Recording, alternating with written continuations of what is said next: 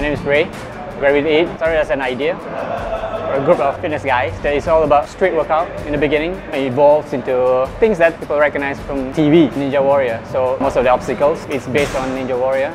We emphasize core workout. It's pretty rare these days. People don't really engage their core.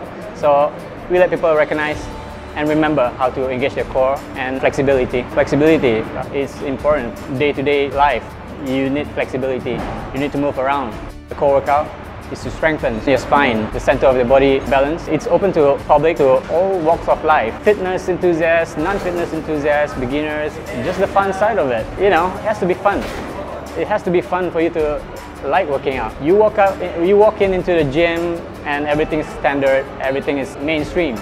You lift weights, you push weights, heavy stuff, light stuff, then you go home and repeat. But when you come into this sort of facility, it's like everything is new every single day.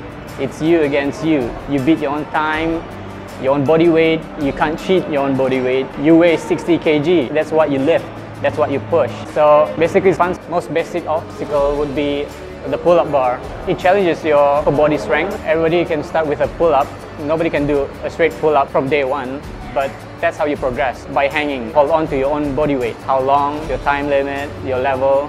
So you beat that time every single time you come here. The most complicated would be uh, the warp wall. is the first in Brunei. It has to do with fear of heights. Warp wall is all about running and jumping, but then there's always the fear of height. So you can run, you can jump, but when you can't, you know, it's the fear of height. Based on your knowledge, on your own fitness level, or what you know, or even like even if you're just starting out, there's always something for you here. There's always something new, something to progress from. It's you against you. Community building on fitness awareness as a whole. We don't segregate what fitness you do. You may do weight training, powerlifting, CrossFit, or your regular boot camps. At the end of the day, it's all about challenging yourself. You come in here, that's it. It's all about the youth these days. We're helping out the youth. There's a small group of kids who used to do street workout. We're bringing the street to indoors. We're giving them a chance to do their stuff legally. We're building up unity on all sort of fitness levels. At the end of the day, you want to come out here being healthy.